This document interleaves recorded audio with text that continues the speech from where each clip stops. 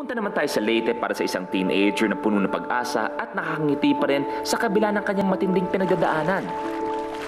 Hi po! Ako po si Maria Angelica Buendia Salvania, 17 from Tanawan, Leyte. Kwento mo sa akin, bakit wala yung tatay mo ngayon? Okay.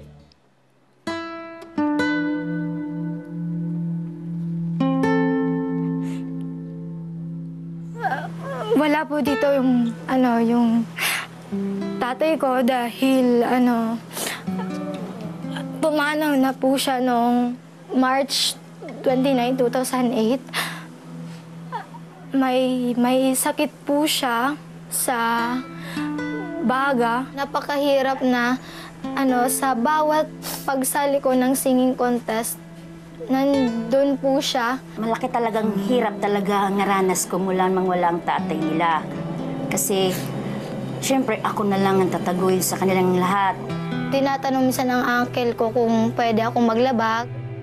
Yung pera nakukuha ko, yun yung minsan ano, nakakatulong sa aming pang-araw-araw. Kasamang pamilya ng teen artist, ipinakita nila sa The Voice Teens Team kung saan naglalabas si Angelica. At dito ay isang magandang balita ang naghihintay sa kanila. Angelica, sama naman to sa mga lalabas. Sige, ubo mo.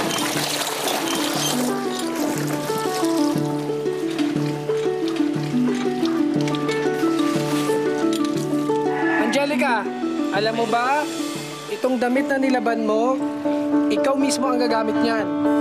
Matutupad ang isang pangarap mo dahil iniimbitahan ka namin maging parte ng blind auditions ng The Voice Teens!